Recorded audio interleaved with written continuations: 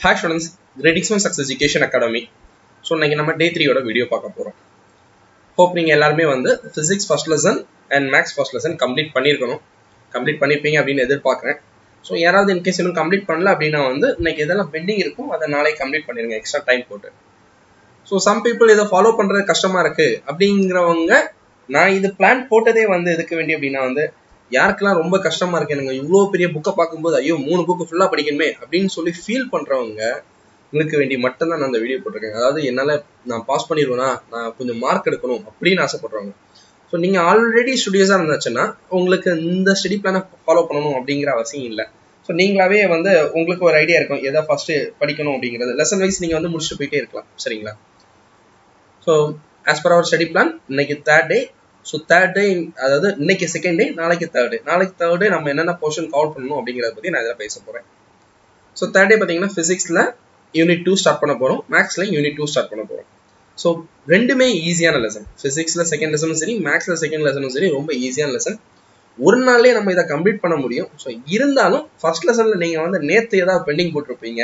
இல்லை நேற்று உள்ள டாபிக் கொஞ்சம் ரிவைஸ் பண்ணட்டும் அப்படின்னு அப்படிங்கிற ஒரு ஐடியாவில் தான் நான் என்ன பண்ணியிருக்கேன்னா இதில் வந்து போர்ஷன்ஸை கம்மி பண்ணியிருக்கேன். சரிங்களா? இதை ரெண்டு நாளாக போட்டிருக்கேன்.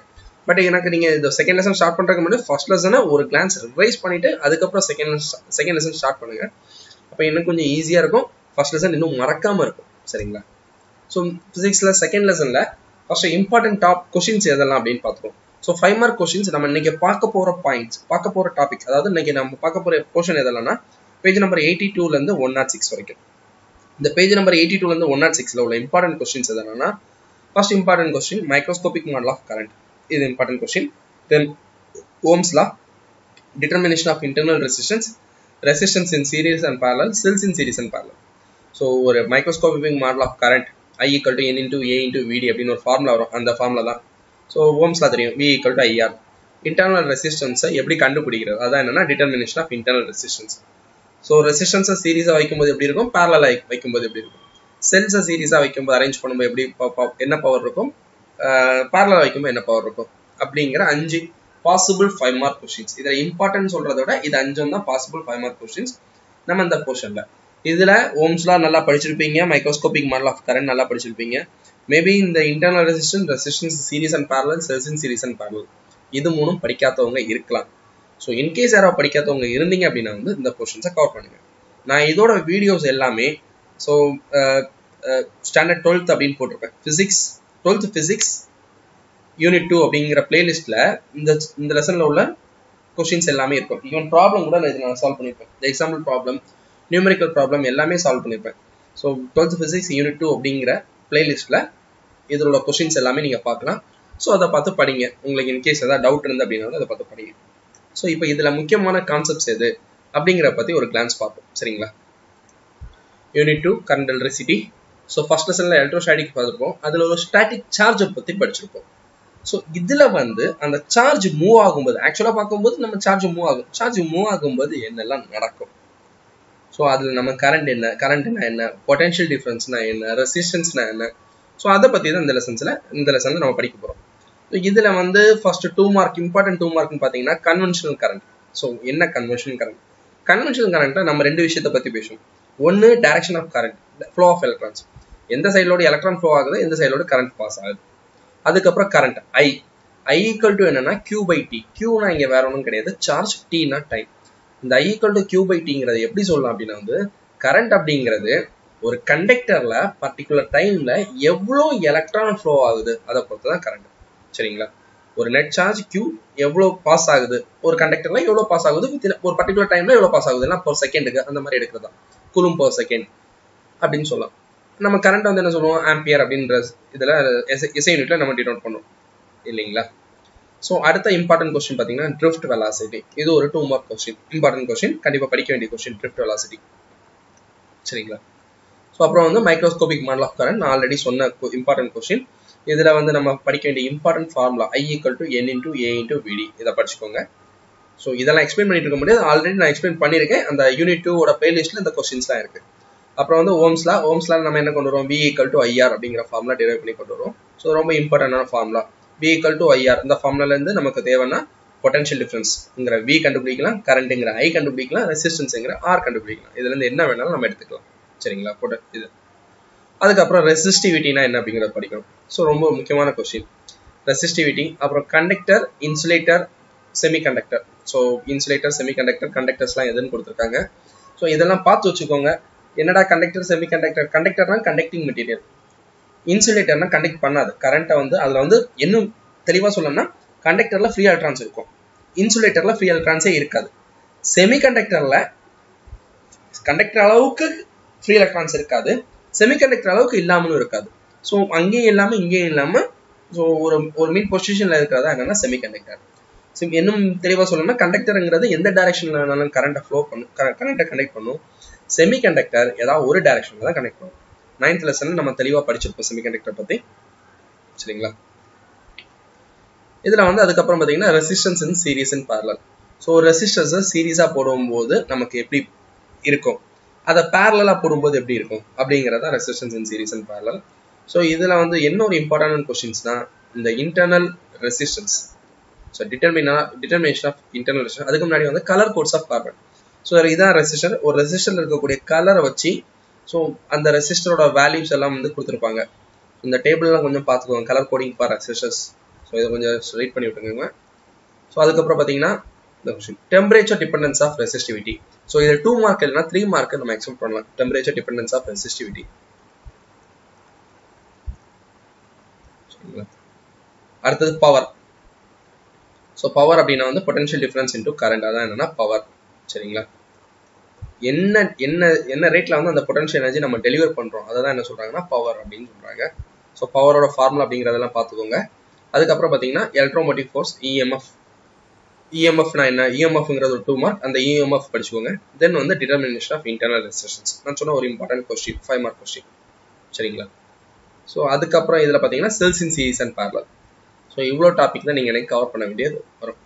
So ரெசிஸ்டன்ஸ்னா resistor resistance in series and பேரலல்னா ஒரு ரெசிஸ்டரை சீரீஸாக கனெக்ட் பண்ணுறோம் சீரீஸ்னா வரிசையாக கனெக்ட் பண்ணுறோம் பேரலல்னா நம்ம வீட்டில் போடுற மாதிரி. சரிங்களா? ஸோ சீரீஸ்னால் நீங்கள் ஒரு சுவிட்சை பார்த்தீங்கன்னா எல்லாமே எழு எல்லாமே ஆன் ஆகும் அதுதான் வந்து என்ன சீரிஸ்ல கனெக்ட் பண்ணிருக்காரு like for example serial light சொல்லலாம். ஸோ பேரலாம் எல்லாமே பேரல் கனெக்ஷன் நம்ம வீட்டில் போடுறோம்ல ஃபேன் தேவைன்னா ஃபேன் மட்டும் போட்டால் போதும். பல்ப் பல்ப் போடணும்னா பல்ப் மட்டும் போட்டால் போதும். ஹீட்டர் போனால் ஹீட்டர் மட்டும் ஆன் பண்ணால் போதும். ஸோ அந்த மாதிரி. அந்த மாதிரி இருக்கதா என்னன்னா பேரல் கனெக்ஷன் ஸோ இதான் resistance in series cells in series and parallel சரிங்களா? ஸோ இவ்வளோ டாபிக் தான் நீங்கள் இன்னைக்கு கவர் பண்ண வேண்டியது. டூ பாயிண்ட் ஃபைவ்ல இருந்து நெக்ஸ்ட் டே பார்த்துக்கலாம். ஸோ இந்த டாப்பிக்கில் ஒன் செகண்ட் சொல்கிறேன் அந்த ஃபைவ் இம்பார்ட்டன்ட் கொஸ்டின்ஸ் இந்த ஃபைவ் இம்பார்ட்டன்ட் கொஸ்டின்ஸ் இது போக conventional current drift velocity resistivity internal dependence of resistivity so இதெல்லாம் நம்ம படிக்க வேண்டிய கொஸ்டின்ஸ் சரிங்களா? Colour codes of carbon also இந்த கொஸ்டின்ஸ் எல்லாமே தர பண்ணிடுங்க ஸோ இனி மேக்ஸ் பார்ப்போம். எக்ஸைஸ் டூ பாயிண்ட் ஒன்லேருந்து எக்ஸைஸ் டூ பாயிண்ட் ஃபைவ் வரைக்கும் மேக்ஸில் நீங்கள் கவர் பண்ண வேண்டியது இருக்கு. நான் ரொம்ப ஃபாஸ்ட்டாக சொல்லிட்டு போகிறேன் நான் எதுக்கு ஃபாஸ்ட்டாக சொல்லிட்டு போகிறேன் அப்படின்னா வந்து இதை கேட்டு நீங்கள் டைம் வேஸ்ட் பண்ணக்கூடாது. இந்த கண்டென்ட் டக்குன்னு என்னென்ன படிக்க போகிறோம் அது ஒரு அவுட்லைன் தான் நான் கொடுத்துருக்கேன் எதை படிக்க போறோம்னு தான் சொல்லிருக்கேன். நான் கண்டென்ட் பற்றி எதுவுமே பேசலை சரிங்களா? ஸோ அந்த கண்டென்ட் பற்றிலாம் நம்ம வீடியோ போட்டிருக்கோம். அந்த வீடியோலாம் ஜஸ்ட் ஒரு கிளான்ஸ் பண்ணுங்க எல்லா வீடியோ பார்த்தீங்கன்னா மேக்ஸிமம் பார்த்தீங்கன்னா ten to fifteen minutes so ten to fifteen மினிட்ஸ்னா நீங்கள் அதை ஒருக்கா பார்த்தாலே உங்களுக்கு அண்டர்ஸ்டாண்ட் ஆயிரும். அதுக்கப்புறம் வந்து கொஞ்சம் அப்படியே ஒரு five minutes ten minutes spend பண்ணீங்கன்னா அந்த கொஸ்டின்லாம் படிச்சிடலாம் சரிங்களா? ஸோ இப்போ நம்ம வந்து மேக்ஸ் பார்ப்போம். Unit two exercise two point ஒன்லேருந்து டூ பாயிண்ட் ஃபைவ் வரைக்கும் பார்க்க வேண்டியது இருக்குது எக்ஸைஸ் டூ பாயிண்ட் ஒன் பார்க்க போறதுக்கு முன்னாடி இதில் நீங்கள் படிக்க வேண்டியது இது காம்ப்ளெக்ஸ் நம்பர் இந்த காம்ப்ளெக்ஸ் நம்பர்லாம் ஐயோட வேல்யூ என்ன அப்படிங்கிறத நமக்கு டிபேட் பண்ணணும். தெரியணும். ஸோ ஐ நாட் இல்லைனா i to the power zero அப்படின்னா ஒன்று anything anything to the power zero one அப்படிங்கிறது தெரியும். ஐ பவர் ஒன்னா என்னது? அதே வேல்யூ தான் வரும். ஐ ஐ ஸ்கொயர் அப்படின்னா வந்து minus one i to the power த்ரீனா என்ன வரும்னா minus i i to the power ஃபோர்னா என்ன வரும்னா ஒன் வரும். திருப்பி i to the power five அப்படின்னா வந்து என்ன வரும்னா ஐ தான் வேல்யூ வரும். ஐ டு த பவர் சிக்ஸ்னா என்ன வரும்? மைனஸ் ஒன் வரும். I to the power செவன்னா minus i i to the power எயிட்னா one திருப்பி i to the power நைன்னா i i to the power டென்னா minus one so இந்த மாதிரி தான் மாற்றி மாற்றி ரொட்டீனாக வந்துட்டு இருக்கும். இந்த நாலேஜ் நமக்கு தேவை. சரிங்களா? அதுக்கப்புறம் i to the power minus ஒன்னா minus i i to the power minus டூனா minus one i to the power minus three அப்படின்னா வந்து i i to the power minus ஃபோர்னா i power four so இந்த value தெரிஞ்சு வச்சுக்கோங்க. So இது தெரிஞ்சாச்சுன்னா first மூணு exercise exercise two point one exercise two point two exercise two point three ஒன்றுமே கிடையாதுங்க. ஈஸியாக முடிக்கலாம். ஒர்த்தே கிடையாது அது. ஸோ இதில் வந்து டூ மார்க் கொஸ்டின்ஸ் எக்ஸ்பெக்ட் பண்ணலாம். அதுக்கு மேலே இதில் எதுவுமே கிடையாது. Exercise two point one two point two two point three so இந்த மூணு டாபிக்ல இருந்தும் டூ மார்க் கொஸ்டின்ஸ் எதாவது எக்ஸ்பெக்ட் பண்ணலாமே தவிர அதை தாண்டி வேற எதுவுமே வராது. அதுக்கப்புறம் இதில் உள்ள ஃபார்முலாஸ் எல்லாம் கொஞ்சம் பார்த்து வச்சுக்கோங்க. Multiplication of complex number real number இதில் real number complex number sorry real number imaginary number அதுதான் என்னன்னா காம்ப்ளெக்ஸ் அந்த மொத்த கன் கான்டென்ட் தான் நம்ம என்ன சொல்றோம்னா காம்ப்ளெக்ஸ் நம்பர் அப்படின்னு சொல்றோம். இதுல பாத்தீங்கன்னா ஃபார் எக்ஸாம்பிள் இசட் ஒன்னுங்கிறது காம்ப்ளெக்ஸ் நம்பர் இந்த காம்ப்ளெக்ஸ் நம்பர்ல ஒரு ரியல் நம்பரும் ஒரு இமேஜினரி நம்பரும் இருக்கு. எதுல ஐ வருதோ அதை இமேஜினரி பார்ட்டனும் ஐக்கு வராத பார்ட்டை நம்ம என்ன சொல்றோம்னா ரியல் பார்ட் அப்படின்னு சொல்றோம். சரிங்களா? ஸோ இந்த வீடியோஸ் எல்லாமே போட்டிருப்பேன். Unit two twelfth maths unit two அப்படிங்கிற வீடியோல இந்த லெசன்ஸ் இந்த பிளே அந்த பிளேலிஸ்ட்ல இந்த வீடியோஸ் எல்லாமே கவர் பண்ணியிருப்பேன். இந்த லெசன்ல உள்ள வீடியோஸ் எல்லாமே. அதை பார்த்தீங்க அப்படின்னா வந்து உங்களுக்கு நல்ல ஐடியா கிடைக்கும். எக்ஸைஸ் டூ பாயிண்ட் த்ரீ வரைக்கும் ஒன்றுமே கிடையாது. இந்த ப்ராப்பர்ட்டி எல்லாமே படிச்சுக்கோங்க. க்ளோஸ் அப் ப்ராப்பர்ட்டியில் வரும் இந்த சம் இதில் வர எக்ஸாம்பிள் டூ பாயிண்ட் த்ரீ வரைக்கும் சம்ஸ் எல்லாம் ரொம்ப ரொம்ப ஈஸியாக தான் இருக்கும். ஆர்டினரி அடிஷன் மல்டிபிகேஷன் அந்த மாதிரி தான் போயிட்டு இருக்கும். ஸோ டூ பாயிண்ட் ஃபோர் பார்க்கறதுக்கு போகிறதுக்கு முன்னாடி இந்த ஃபார்முலா எல்லாமே கிளியராக தெரியும். ப்ராப்பர்ட்டிஸ் ஆஃப் காம்ப்ளெக்ஸ் கான்ஜுகேட் இந்த ப்ராப்பர்ட்டிஸ் உங்களுக்கு ஓரளவு அண்டர்ஸ்டாண்ட் ஆயிடுச்சு. அண்டர்ஸ்டாண்ட் ஆகிறதுக்கு ஒன்றுமே கிடையாது. இது z one plus z whole bar equal to நம்ம அதை எப்படி எழுதலாம்னா z one plus z one bar plus z two bar இந்த பார் ரெண்டாக ஸ்பிட் பண்ணி ஸோ இந்த மாதிரி ஃபார்ம்ல நம்ம ஈஸியாக அண்டர்ஸ்டாண்ட் பண்ணிக்கலாம். சாரி இந்த ப்ராப்பர்ட்டியை ஸோ இந்த ப்ராப்பர்ட்டி படிக்க போறதுக்கு முன்னாடி இந்த எக்ஸ் சம்ஸை பண்ணும்போது நம்ம எந்த இடத்துலலாம் என்னென்ன ப்ராப்பர்ட்டி யூஸ் பண்றோம் அப்படிங்கறத பார்த்து பண்ணுங்க. அதுக்கு முன்னாடி எக்ஸாம்பிள் சம்ஸும் பார்த்துக்கோங்க. இல்லை பார்த்தீங்கன்னா தெரியும். டூ பாயிண்ட் ஃபோர் ஏழு சம் இருக்கு. இந்த ஏழு சம்ல சில சம்ஸ்லாம் ரொம்ப ஈஸியா இருக்கும். இதுல பாத்தீங்கன்னா ஃபோர்த்து சம் ரொம்ப இம்பார்ட்டன்டான சம் தேர்ட் சம் சில சம்ஸ்லாம் ரொம்ப இதுவும் நான் வந்து அந்த ஃபர்ஸ்ட் த்ரீ லெசன்ஸ் மாதிரி தான் ஃபர்ஸ்ட் எக்ஸசைஸ் மூணு எக்ஸசைஸ் மாதிரி தான் இந்த எக்ஸசைஸே இருக்கும். ரொம்ப ஈஸியாக தான் இருக்கும். இதெல்லாம் வந்து ஜஸ்ட் ஒரு ஹாஃப் அன் அவர் ஸ்பெண்ட் பண்ணீங்கன்னா என்ன அப்படிங்கறத பார்த்துடலாம். நீங்க ஜஸ்ட் அதை திருப்பி ஞாபகம் வச்சிருந்தா போதும் கரெக்டா ஓ இது இது இப்படிதான் பண்ணணும் அப்படிங்கிறது ஞாபகம் வச்சிருந்தா போதும். அதுக்கு மேல எதுவுமே கிடையாது. டூ பாயிண்ட் ஃபோர் வரைக்கும் ரொம்ப ஈஸியா தான் இருக்கும். அடுத்த டூ பாயிண்ட் ஃபைவ் பார்க்கும்போது மட்டும்தான் கொஞ்சம் கான்சென்ட்ரேஷனில் பார்க்கணும். ஸோ டூ பாயிண்ட் ஃபைவ்ல பார்த்தீங்கன்னா டோட்டலாக டென் சம்ஸ் வரும். சரிங்களா? ஸோ டூ பாயிண்ட் ஃபைவ்ல டோட்டலாக டென் சம்ஸ் எக்ஸாம்பிள் சம் வந்து சிக்ஸ் ஒரு ஏழு எக்ஸாம்பிள் சம் வருது. டூ பாயிண்ட் ஃபைவ்க்கு முன்னாடி ஒரு ஏழு எக்ஸாம்பிள் சம் வருது. டோட்டலாக மொத்தமே seventeen example sums seventeen example sums அதுக்கு முன்னாடி உள்ளது எல்லாமே ரொம்ப ஈஸியாக இருக்கும். கொஞ்சம் காம்ப்ளிகேட்டட் ப்ராப்ளம்ஸ் பார்த்தீங்கன்னா ஒரு செவன்டீன் ஆர் எயிட்டீன் ப்ராப்ளம்ஸாக இருக்கும். மற்றது எல்லாமே ரொம்ப ஈஸியாக தான் இருக்கும். இதுவும் ரொம்ப கஷ்டம்லாம் கிடையாது. அந்த கொஷின் என்ன கேட்குறாங்க அந்த வீடியோ பாருங்க. வீடியோவில் கிளியர் எக்ஸ்பிளைன் பண்ணியிருப்பேன் என்ன கொஸ்டின் கேட்டிருக்காங்க அதை எப்படி அண்டர்ஸ்டாண்ட் அதை அண்டர்ஸ்டாண்ட் பண்ணி கரெக்டாக எழுதிட்டீங்கன்னா போதும். அவ்வளோதான் இதில் செவன்த் ப்ராப்ளம் எயித்து ப்ராப்ளம் இதெல்லாம் ரொம்ப இம்பார்ட்டண்டான ப்ராப்ளம் நைன் டென்லாம் ரொம்ப ஈஸி அப்புறம் வந்து நைன்த் ப்ராப்ளமும் ரொம்ப இம்பார்ட்டன்ட் கொஸ்டின் இம்பார்ட்டண்டான question six seven eight nine இதனாலும் நல்லா பார்த்துக்கோங்க. இதனால தான் கொஞ்சம் ஓரளவுக்கு கஷ்டமாக இருக்கும். மற்றது எல்லாமே ரொம்ப ஈஸியாக தான் இருக்கும். சரிங்களா? இதில் பெருசாக எக்ஸ்பிளைன் பண்ணுறதுக்கு காம்ப்ளெக்ஸ் நம்பர் பார்ட்டில் எதுவுமே கிடையாது. ரொம்ப ஈஸியான லெசன்ஸ் மேக்ஸை பொறுத்த வரைக்கும் ஃபர்ஸ்ட் செகண்டு தேர்டு ஃபிஃப்த்து இந்த லெசன்ஸ் தான். ஸோ வீடியோஸும் போட்டிருப்பேன். அந்த வீடியோ பாருங்கள் உங்களுக்கு ஓரளவு ஐடியா கிடைக்கும். எப்படி பண்ணணும் அப்படிங்கிற ஐடியா கிடைக்கும். சரிங்களா? ஸோ டெய்லி உள்ள போர்ஷனை முடிங்க. சில பேர் கெமிஸ்ட்ரி கேட்டிருக்காங்க. கெமிஸ்ட்ரி நான் அந்த ஷீட் பிளான்ல போட்டிருக்கேன் பாருங்க. I think eleventh or twelfth டேக்கு அப்புறம் தான் கெமிஸ்ட்ரி வரும். ஸோ கெமிஸ்ட்ரி வரும்போது கெமிஸ்ட்ரியை பற்றி நான் எக்ஸ்பிளைன் பண்ணுறேன் நான் அகெயின் அண்ட் அகைன் சொல்றேன். இது யார் ஸ்ட்ரகிள் பண்றாங்களோ அவங்களுக்கு வேண்டி நான் அப்லோட் பண்றேன் என்னோட அகாடமியில நான் இந்த ஸ்டடி பிளான் தான் ஃபாலோ பண்ணிட்டு இருக்கேன். என்னோட ஸ்டூடெண்ட்ஸ் இன்னைக்கு என்கிட்ட படிச்சுட்டு இருக்க ஸ்டூடெண்ட்ஸ் எல்லாமே பிசிக்ஸ்ல ஃபர்ஸ்ட் லெசன் அண்ட் மேக்ஸ்ல ஃபர்ஸ்ட் லெசன் தரவா கம்ப்ளீட் பண்றாங்க. அவங்க நாளைக்கு செகண்ட் லெசன் போக போறாங்க. ஸோ இந்த மாதிரி நீங்களும் பிளான் பண்ணி படிச்சீங்கன்னா டெஃபினட்டா உங்களால நல்ல மார்க் ஸ்கோர் பண்ண முடியும். கஷ்டமா தான் இருக்கும். வேற வழியே கிடையாது. படிச்சுதான் ஆகணும். ஸோ இதை படிக்காம நீங்க ஒவ்வொரு நாள் இன்க்ரீஸ் ஆக இன்க்ரீஸ் ஆக போக போக தள்ளி தள்ளி போட்டுட்டே இருந்தீங்கன்னா ஒரு ஜனவரி ஜனவரி லாஸ்ட்லாம் வரும்போது உங்களுக்கு போர்ஷன் டம்ப் ஆயிரும். ஒண்ணுமே பண்ண முடியாது. அப்படியே ஸ்ட்ரக் ஆகி நிற்பீங்க பிசிக்ஸ் படிக்கும்போது கெமிஸ்ட்ரி படிக்கணும்னு தோணும். கெமிஸ்ட்ரி படிக்கும்போது பயாலஜி படிக்கணும்னு தோணும். ஸோ ரெண்டு நாள் இது கூட படிக்காதவங்க கூட அட்லீஸ்ட் இப்போ மாதிரி ஸ்டார்ட் பண்ணுங்க. ஹாஃப் வேலி லீவு ஹாஃப் வேலி லீவ்ல போர்ஷன்ஸ் எவ்வளவு தூரம் முடிக்கணுமோ அவ்வளவு தூரம் முடிக்கும். ஸோ இதுக்கப்புறம் நீங்க தான் டிசைட் பண்ணணும் சரிங்களா?